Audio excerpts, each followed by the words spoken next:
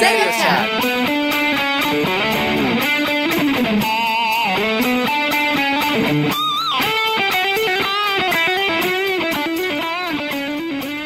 Y seguimos en Stereo Chat. Y ahora nos acompaña Sheila Sheeran. Así que se dice. Sharon. ¿Viste? Ella es la escritora del libro Te acostarías conmigo. ¿Y cómo estás? Bien, buenas noches, gracias. Qué bueno tenerte aquí.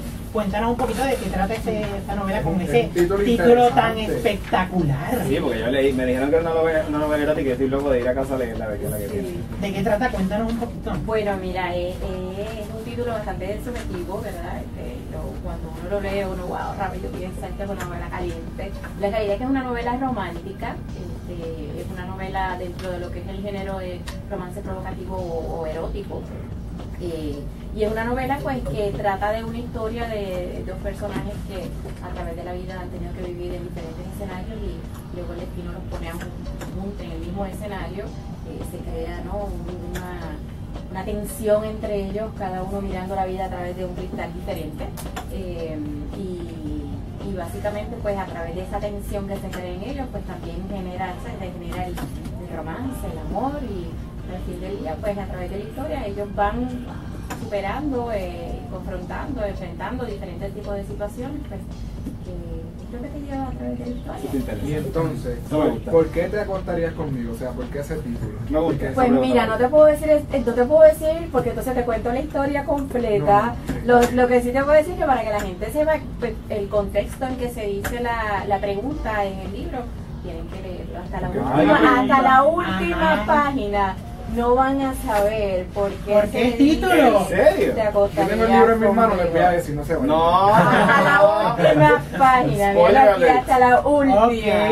Pero eso es interesante, ¿no? Porque le estaba comentando fuera del aire que a mí me han enseñado y eso cuando tú vas a lanzar una noticia o un libro o lo que sea, el titular es lo que te va a hacer ya atraer lectores, ¿verdad? Y entonces cuando tú lees un titular como ese, un título como ese que dice te acostarías conmigo, es una pregunta que tú no le haces a todo el mundo. No. No, es que es cierto. Tu título es el que atrae lectores y de esa forma lo, lo lograste porque Claro. es curioso. ¿Y de dónde, de dónde nace el poner ese, ese título?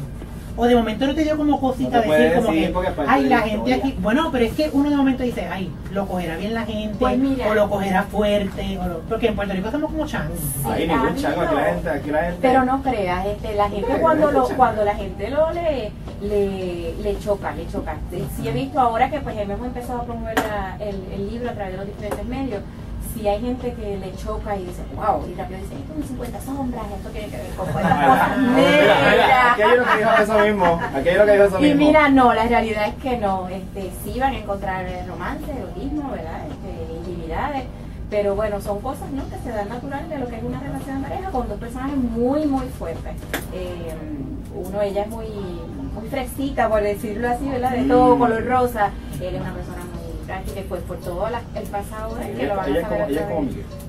Exacto, es Oye, como yo. Ella es como Miguel, Miguel, Ay, exacto. Miguel, ay, perdóname, Miguel, por tener Ella es muy sincera, este, muy sentimental. Pero mira, eso- eso- la Entonces, eso yo diría que. Eliezer, que es el otro, serías tú. Ah, yo. Sí. Es lo malo. Me gusta la novela. Toma, toma, Oye, léela. oye Chely, te pregunto, ¿este va dirigido para un, para un público en específico o cualquier persona puede leerlo? Pues mira, es para un público adulto porque obviamente pues trata de, de- de escenas no íntimas, este, pero eh, básicamente pues a quien le gusta el romance. eh, Yo soy bien romántico. Pues mira, el libro te va a gustar. Ah, Sin embargo, ¿en serio? ¿verdad? he tenido la oportunidad de que otras personas fuera de lo que es el, ¿verdad? De, de fanáticos del género de romance la han leído y pues, la recomendación ha sido bien grata y positiva porque me dicen, tienes tanta intriga. O sea, tú no empiezas a ver la cosita caliente hasta el capítulo 11. Y la gente me dice, wow, me gente brinca para mantienes- 11. Me- No, pero, bien me mantenido enganchado hasta el capítulo 11.